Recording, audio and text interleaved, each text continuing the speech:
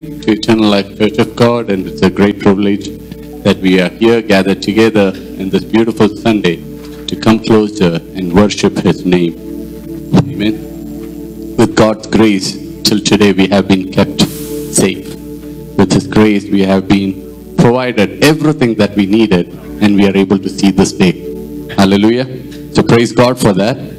And let us all stand together and read Psalms 1 This is a time that I'm taking five minutes to just read Psalms 1 and go through, exalt Him. Hallelujah. So the, the, the verses are here on the screen, so it's easy for you to look together and let's all read. മലയാളത്തിൽ പറയുന്ന വാക്യപ്രതിവാക്യമായിട്ട് വായിക്കാം or verse by verse we can read it out loud. So I'll read the first verse and then we can repeat it like that, right? Blessed is the man who walks not in the counsel of the ungodly, nor stands in the path of sinners, nor sits in the seat of the scornful. But the Lord and His law he shall be like a tree planted by the river of water that brings forth its fruit in its season, whose leaf also shall not wither, and whatever he does shall prosper.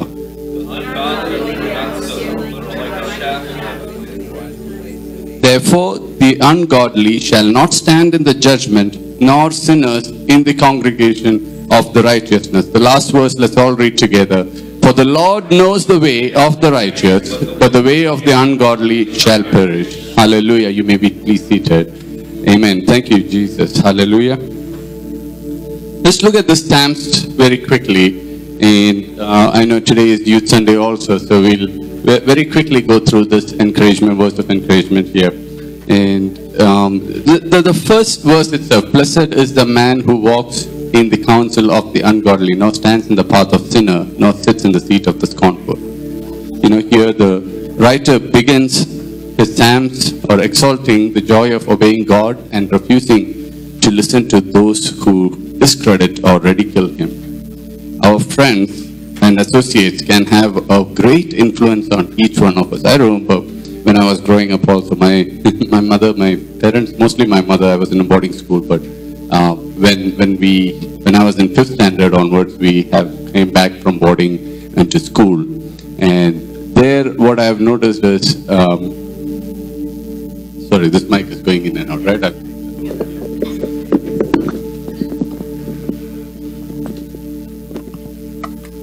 All right, this is better? All right, much better. Okay, so there, I remember, I mean, even for us also, the parents, as a, uh, we, we used to hear that, you know, be careful who your friend circle is, right? I mean, I keep, I keep telling my son also the same thing. We keep an eye on who his friend circle is. So, blessed, as a psalmist says here, blessed is the man who walks not on the counsel of ungodly. Who gives you the counsel? Sometimes it's the people around you, sometimes it's your friends, sometimes it's the influencing people around you you know. So you got to watch out who your counsel is coming from also. And if uh, you know if we insist on friendship with those who mock what god considers important then we are also sinning and becoming indifferent in god's will. So this attitude is the same as mocking itself.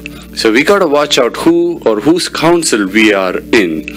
And we need to know that the friendship that we are building is building up is it building up our faith or is it actually demoralizing us and pulling us away from faith so that's just a word of warning there how beautiful it is to begin the entire book of psalms psalms 1 with the warning label itself be watchful of who your friend circle is. Be watchful of who you associate with. And blessed is a man who do not walk in the counsel of the ungodly. Amen. Let's move on to verse number two. Also, you can see that um, you can learn how to follow God by thinking about His words, meditating day in and night. We all practice that, right? We all read the Bible, but do we spend quiet time in His presence, understanding what the Word is? Do we ask help from Holy Spirit uh, to to to know what it means? Here, the psalmist is saying that he meditates it day and night. It's like breathing for him. Um, this means that spending time reading and thinking about what you have read, and it also means asking yourself how you should change so you're living as God wants you to live. Knowing and thinking about God's word are the first step and towards applying it in your everyday life. Hallelujah.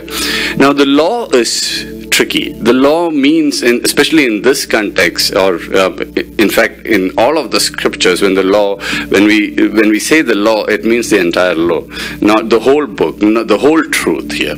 And the first five books of Moses and whatever the prophets have said also, that and all the other writings is included in the law the more we know the whole scope of God's God's words, um, the the more resources we will have to use and the guide that will provide to us for our daily decision making.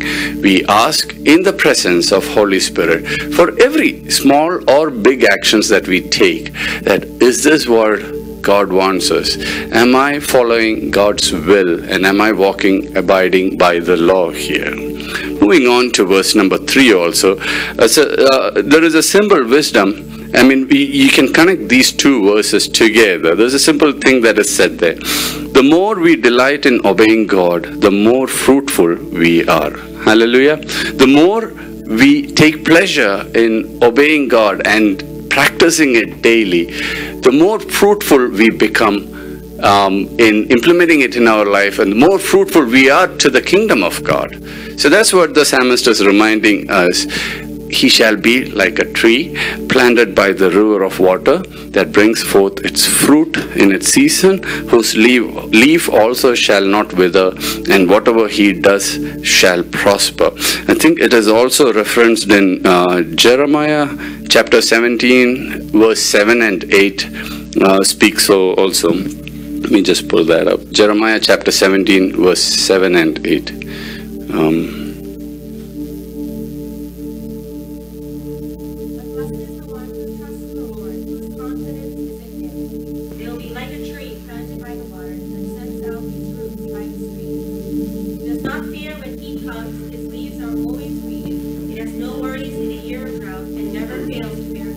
Hallelujah.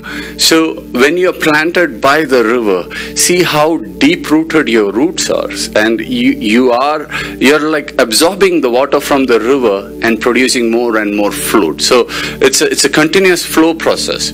So understand where you're planted. Are you planted by the river? Are you planted on solid surface where you're producing more and more fruit? That's what the psalmist is again reminding us. And he was just quoting Jeremiah again, the God's promise to watch over them. And God's wisdom guides their life also in the book of Jeremiah as we read it. Now, um, you can, there was one thing that really uh, brings me here is, and whatever he does shall prosper. And whatever he does shall prosper, or in all they do, they shall prosper. In some scriptures say, uh, different verses say there. What does that actually mean? Does it actually mean that you have the Midas touch? You touch whatever, it will become gold, or anything you walk into is always prosperous? No, it doesn't mean that. A child of God's life is not always prosperous. As you touch everything it'll be all good and everything will be nice like that. No it doesn't work like that. We all have our own troubles. We all have our own problems and struggles and things that we have to go. But what actually the bible means by prosperity is when we apply god's wisdom the fruit or the result by the product or the byproduct of what we are producing we bear will whatever we bear will be good and receive god's God's approval upon it, just as a tree soaking up water and bearing fruits and being fruitful to it. So don't get misunderstood that there won't be any miseries in your life. Every Christian life has got their own troubles and problems to go through. But irrespective of what you go through, whatever you do, you have God's approval because you took care of initial two, three things. One, not walk in the counsel of the ungodly. Two, meditate his words day and night. And three, you are seeking guidance to understand what the word of God is saying. And the Spirit is, Holy Spirit is guiding you in everything. And lastly, another example that was given as the word chaff there. Um, the verse number three, four. The ungodly are not so, but like the chaff which the wind drives away.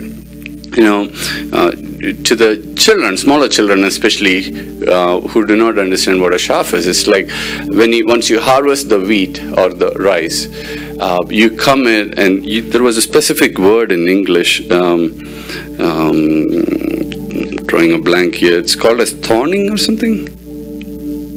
Let's see threshing and winnowing. Threshing and winnowing. So when you're threshing the grains, it breaks apart, and then only you can get to the kernel of it. And kernel is what we consume.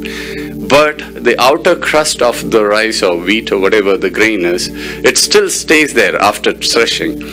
And it's so light that even the slightest of the wind can take away the chaff away. Right? So the ungodly's life is going to be like that after the threshing happens, when you when the farmer when the whoever is doing the harvesting throws it up, the slightest wind removes all the chaff away, but the good kernel falls down right there. That's what we can consume. Amen. So God is gonna sieve through it and God is gonna remove the chaff out of all of us. So we gotta be watchful that we are not part of that chaff. We are not blown away by the slightest wind and we fall in the place. Now, a grain that is falling down, grain doesn't have a choice. It has to fall down because of gravity. But we all who are sitting here, we have a choice whether to follow God or not to follow in the end of the day it will all comes down to your personal decision and your wisdom what it applies and where it takes you.